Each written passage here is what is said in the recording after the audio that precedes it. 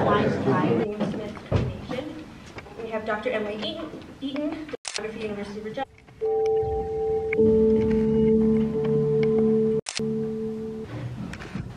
And I'd just like to mention at the end, um, the discussion about, we didn't film that